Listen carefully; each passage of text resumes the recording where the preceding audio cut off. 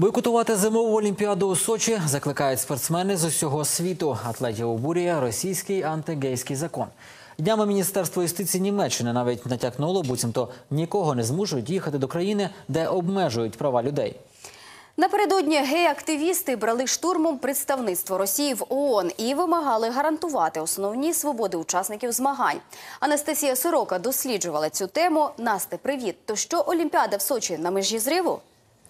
Наталко, Андрію, Олімпіада наближається і пристрасті навколо неї не вщухають. Спершу критикували підготовчий комітет за е, буцімто за те, що е, влада руйнує довкілля. Потім сипалися звинувачення у корупції. Мовляв, витрати на підготовку сягають десятків мільярдів.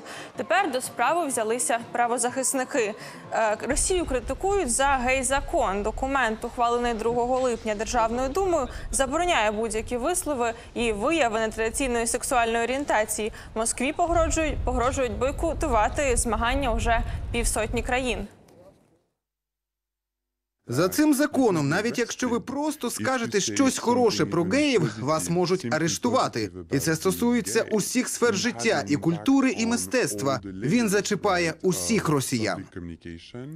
Тиждень тому у параді на Амстердамі російських геїв підтримали своєрідно. Голландці поперевдягалися у російських омонівців і збирали підписи проти антипропагандистського закону. За день до того, по-своєму, проти одіозного закону виступили у Нью-Йорку. Тамтешні власники барів разом з активістами на вулицях міста виливали з пляшок російську горілку. Мовляв, геть продукцію тих, хто обмежує права людей. Зі свого ж боку, росіяни на найвищому рівні запевняють, геїв на Олімпіаді не чіпатимуть. Подейкують, нібито таке обіцяв сам Володимир Путін, аби не забирали в його країни право приймати змагання. Утім, віддуватися за суперечливі закони кинули міністра спорту. Віталій Мутко намагався детально роз'яснити, як секс-меншини почуватимуться на змаганнях.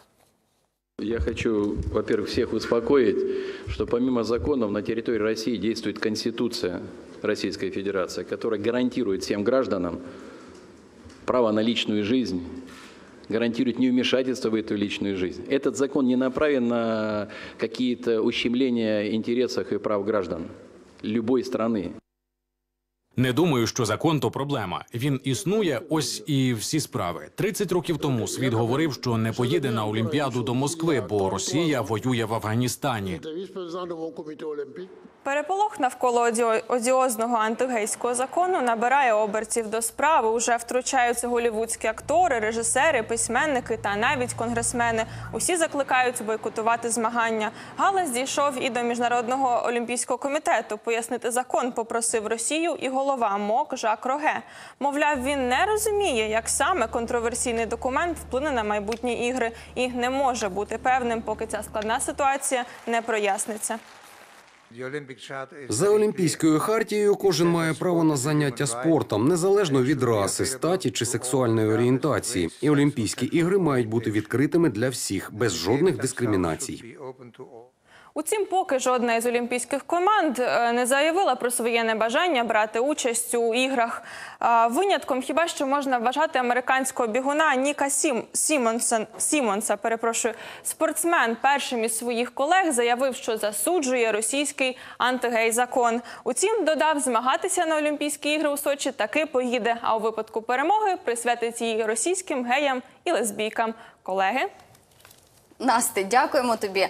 Мені здається, насправді, що е, цей галас здійняли навколо, ну, аби здійняти насправді. Ну треба про щось поговорити, тому і говорять. Ну, так. мені так здалося Дякуємо, насправді. дякуємо, Насте. Ми продовжуємо випуск.